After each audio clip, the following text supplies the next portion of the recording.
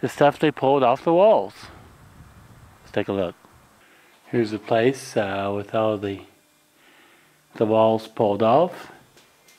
Tim and Tucker worked uh, two days and uh, cleaned out the place. That's where the bedroom used to be. Um, we're going to start next week a rebuilding. Say it's going to take about three weeks. Three weeks and I guess 10 to 15. We'll be back in business. I'm going to leave this open from the grand room here. Leave the kitchen open, build the wall back here for the bedroom. Put a door there.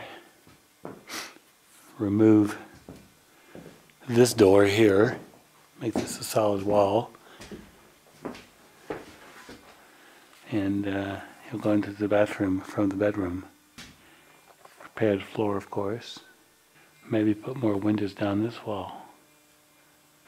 Let's go take a look at uh, what survived in the garage.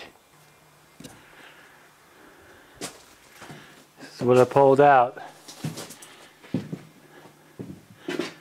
The table may have survived. Dishes, that sort of thing. Some furniture. We'll be, we'll be back in three weeks.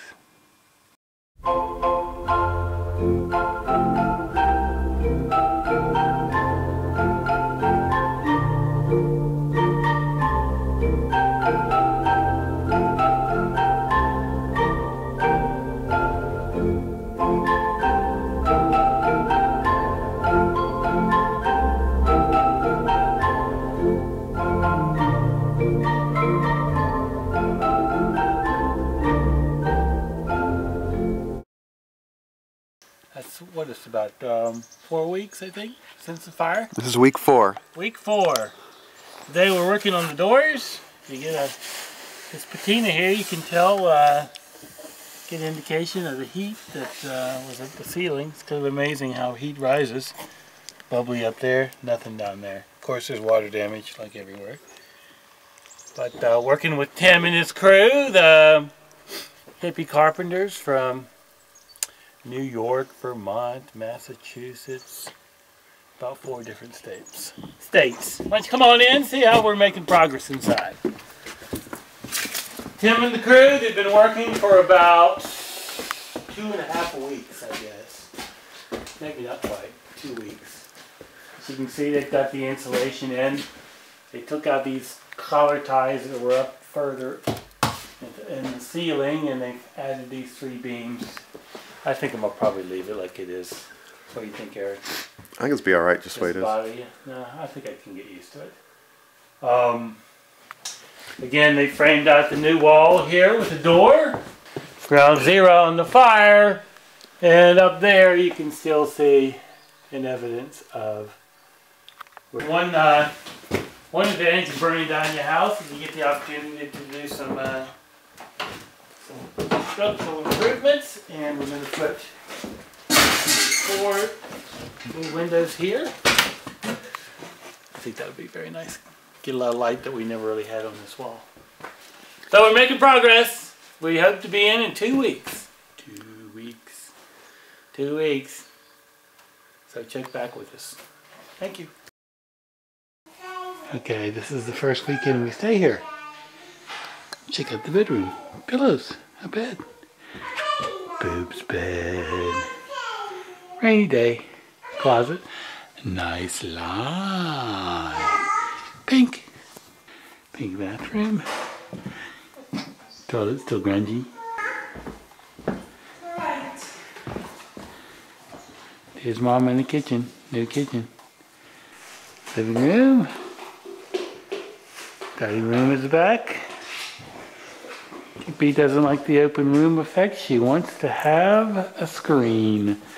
Hmm. She thinks the windows look like a dormitory. Oh, please. A little bit. But she likes the window in the kitchen.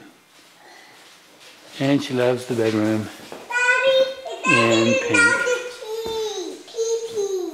You don't pee pee in the uh, Tupperware, boobs. Boobs, don't pee pee in the Tupperware.